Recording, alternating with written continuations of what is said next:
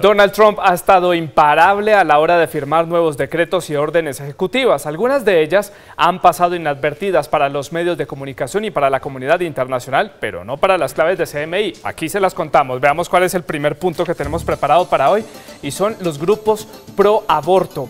Trump ya firmó una orden ejecutiva que prohíbe el uso de fondos del gobierno para subsidiar a grupos que practiquen o asesoren sobre el aborto en el exterior, fuera de los Estados Unidos. Esta es una política republicana que comenzó a ser usada en 1980 y que fue cancelada por el presidente Obama. La ley prohíbe que las organizaciones extranjeras o ONG usen fondos del gobierno estadounidense para realizar abortos o para hacer campañas o alentar a realizar esta práctica.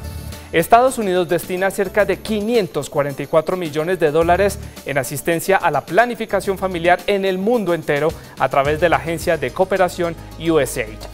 Veamos entonces el segundo punto y son las torturas en los interrogatorios. El terrorismo sigue siendo un tema sensible en la política de los Estados Unidos y por eso Donald Trump sugiere que está abierto a autorizar la tortura, pues según ha dicho, funciona. Por eso se muestra partidario de reinstalar la tortura en los interrogatorios. Esto sin duda alguna violaría la ley estadounidense que fue ratificada por el Senado de ese país en 2015. El nuevo director de la CIA, Mike Pompeo, dijo que podría contemplar también la posibilidad de nuevas técnicas como el waterboarding o ahogamiento simulado, entre otras técnicas.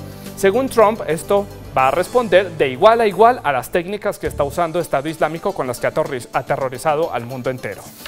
Y nuestro tercer punto son las ciudades santuario. La orden ejecutiva congela los fondos federales a las llamadas ciudades santuario, es decir, aquellas ciudades que se muestran muy abiertas y protectoras a los inmigrantes y evitan las deportaciones de los indocumentados. La medida indica que le van a suspender los fondos si las autoridades locales de estas ciudades no proporcionan información sobre el estatus migratorio de las personas que detienen en las requisas. Entre las ciudades santuario se encuentran ciudades muy conocidas como Nueva York, Los Ángeles, Chicago y Miami, pero el gobierno estipula que hay cerca de 300 ciudades o localidades o pequeños condados que son reconocidos como santuarios y que están muy cerca de la frontera con México. Usted puede encontrar más información sobre este tema en www.cmi.com.com. En Twitter también nos encuentra como arroba CMI la noticia, mi cuenta personal arroba Santilogo, deje sus comentarios, participe en el debate con el hashtag clave CMI. También nos puede ver en vivo a través de Periscope y de Facebook Live.